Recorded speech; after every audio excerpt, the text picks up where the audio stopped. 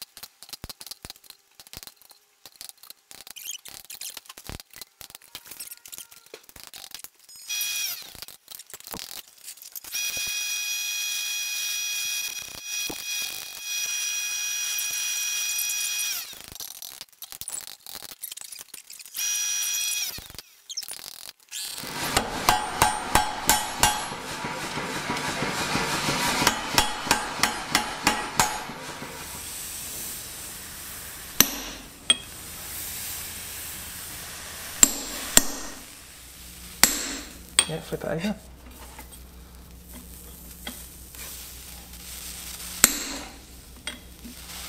Yeah.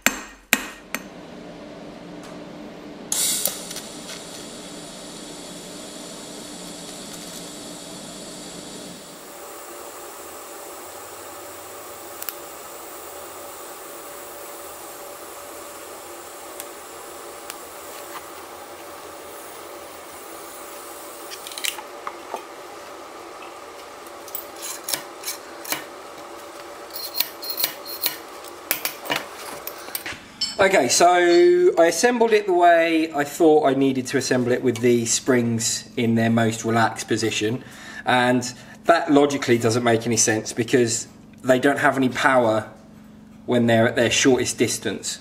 So they need a bit of tension on them to get some of the power out of them. So what I'm going to have to do is cut this off and put it up here, I think.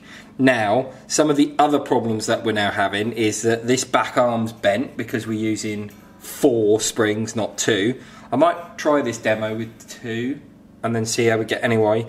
Um, but we need to be able to draw the springs as long as possible and we've worked out that we should, can draw them up to 400 mil. So 400, what's 400 mil? So it's over a foot and a half. So we've got a foot and a half of draw length that we can get out of these springs. So what I'm going to do, I'm going to chop this off of here, or cut it off of here, and put it on the end. I think we need to beef this up a little bit because it's starting to bend, which is a little bit irritating. Uh, and then this back arm needs beefing up as well, and also get bringing away from the back of the the barrel plunger plunger. Um, yeah. So what we're going to do is we're going to test fire it. I'm, I was using the ball bearings, but these are heavier. They don't go as far, and they're easier to find. so because I don't want to lose too many ball bearings yet. Once it's all together, I'll go nuts. But um, yeah. So I'm going to fire this and see how well basically see what it looks like when it's coming out. Um, yeah.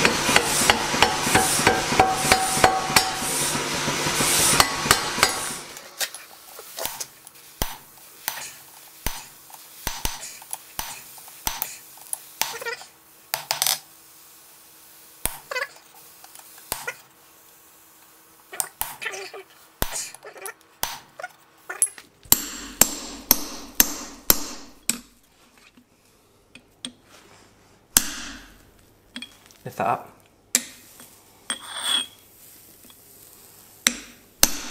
Lift that. Lovely.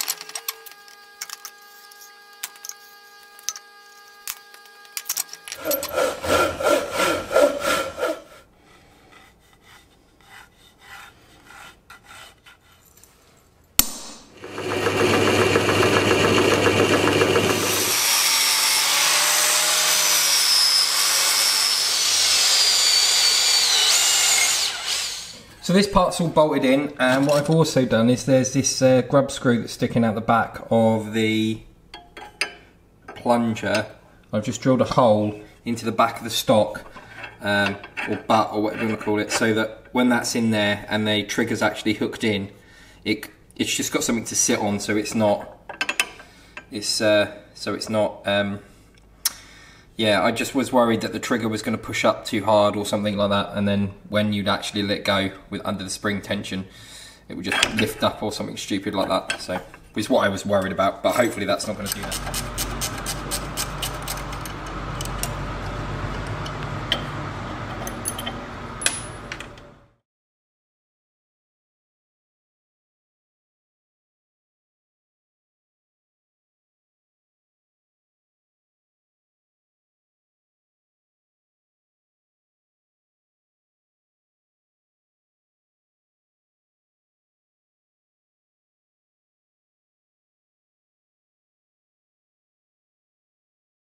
Right, super happy with this so far. Um, the next thing to do is the trigger. Now, my woodworking skills are awful and this stock is hideous, but I will maybe improve on it in the future. But just getting a concept together and making it work is what we want. So what we're going to need to do is make a little trigger for this now.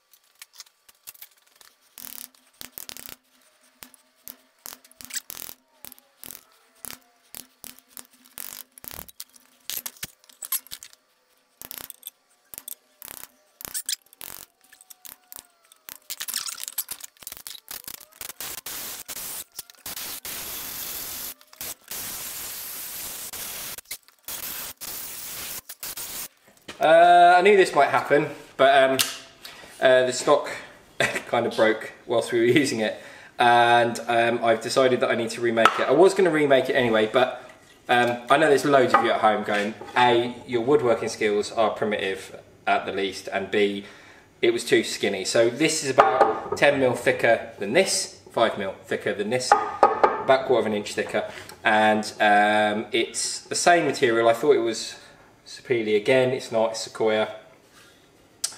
Um, but what I'm going to do is I'm going to cut some of it out and then I'm going to put a radius in this sharp bit here and do some other bits. Anyway, this is firewood and we're going to make this better because I've already measured it off.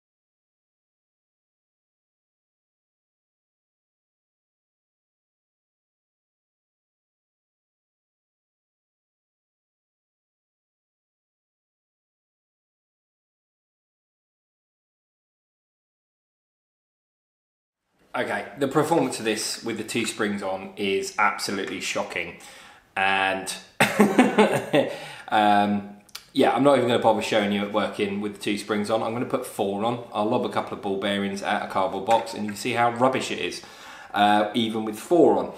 Um, after I've done that, we'll talk about some of the modifications that I want to do to this and why I'd like to do the modifications, um, and then yeah, basically we'll go over it in a bit more detail and we can talk about how we can make this better in the comments.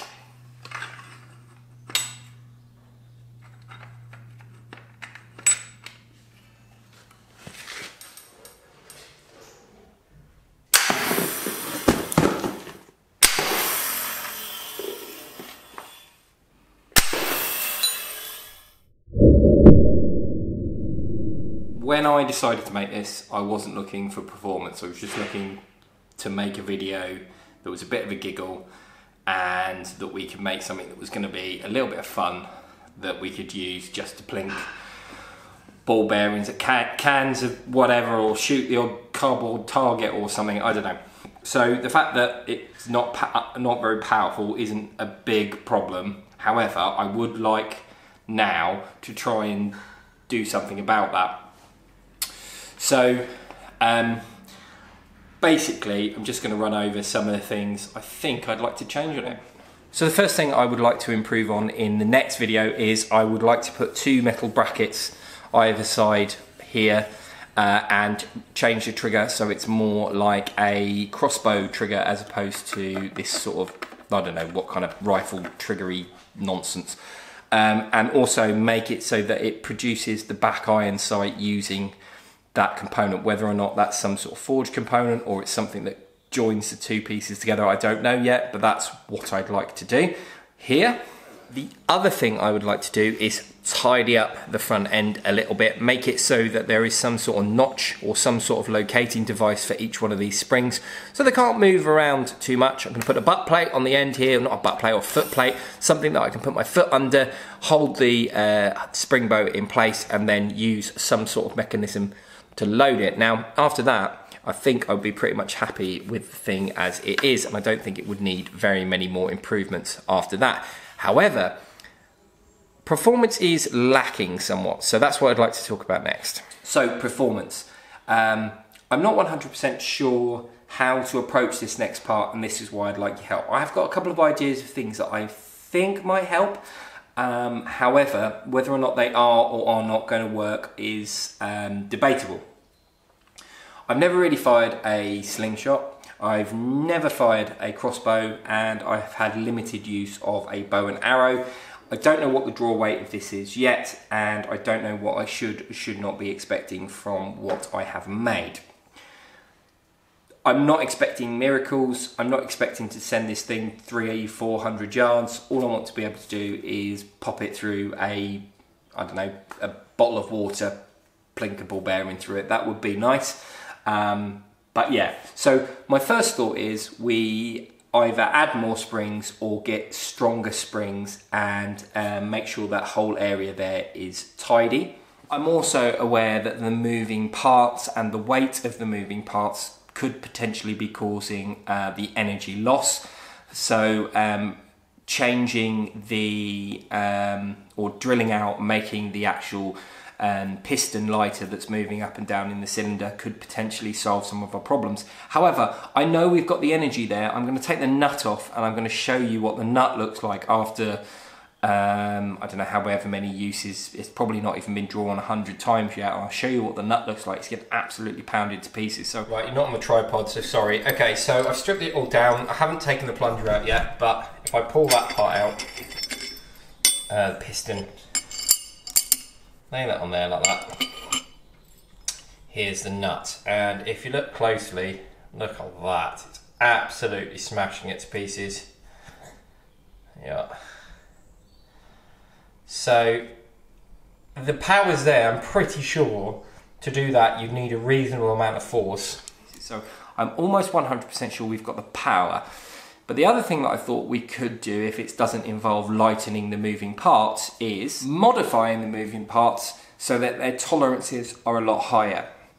Currently there's quite a lot of play between the piston and the cylinder. Now I don't think that that should be an issue. However, by adding an O-ring and then lubricating the system ever so slightly, we might be able to make the piston and the cylinder fit a bit tighter together so that when they do travel up and down, uh, we're not getting like chattering. The other thing might be is to change the size of the ball bearing so it fits tighter. However, that would mean modifying the cylinder because, and well, probably modifying the whole thing because uh, the cylinder is currently at about 10.5 and the barrel, uh, sorry, the cylinder is about 10.5 and the piston is currently sitting somewhere around 10.2. It depends on where you measure it from. So an O-ring could solve that problem. Lastly, it might be an option to change the type of projectile, and I am not completely against that at all. Uh, we're I'd like to be able to shoot ball bearings with it. I think it's pretty low cost. I think it's pretty easy to get hold of the bloody things. Um, and if that's something that you wanted to do at home, that's a relatively easy thing to find as well as a home gamer. Um, but if we were to change it to some sort of bolt or dart or arrow of some description, I'm quite happy to do that as well, or give it a go at least.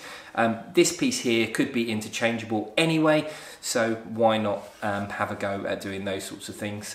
Um, and worst case scenario, if we had to put some sort of bow on the front, I'm not against that either.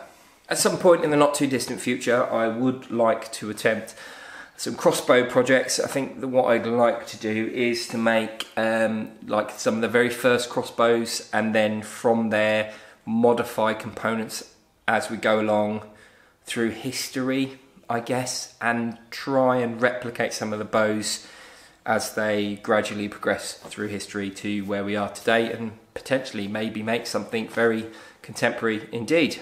I've really enjoyed making this. Hopefully you've enjoyed watching me make it and hopefully some of the stuff I spoke about just now was interesting and it's got you thinking about some of the things that we could do to make this better. If you did have any thoughts, ideas or suggestions on ways that I can make this better, drop them down in the comments. If you didn't want to leave it in a comment and you wanted to contact me directly, you could DM me on my Instagram, that's in the description, or you could also send me an email. There is a link to my email in the description as well. And um, I will do my best to try and get back to people, um, but I will read the comments and then next episode I will go over some of the ideas and suggestions that you guys and girls left. And remember, if you did enjoy this episode, please leave a like, subscribe, and uh, if you are already a subscriber, why not ring that bell for notifications? It tells you every time I make a video. I try and make videos at least once a week. Sometimes I make a few more, sometimes I don't manage to do once a week.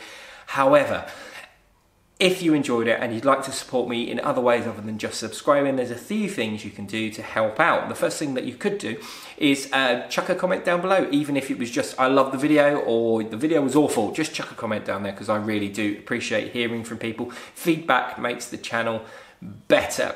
You could share this video on other platforms or with your friends, and you could go over and check out my Instagram where I post regularly. I leave stories I talk about all sorts of crazy things that I'm doing um, and I go through some of the scoops and early sneaky peeky stuff that's happening on the channel there. You send me an email, or if you'd really, really like to support me, you could go over to my Etsy and buy some sort of blacksmithing paraphernalia or just buy some merch, everything from t-shirts to hammers over there and all in between stock and all sorts of crazy stuff. So uh, that is a great way you could support the channel. Thank you so much for joining me. I'm going to leave a link up here to a video YouTube thinks is best for you. I'm going to leave a link down here to another video uh, that was recently uploaded. This one here is a video I think you might like. It's probably the toilet hawk. And this one here is the subscribe button. Thank you so much for joining me. Goodbye. Bye-bye.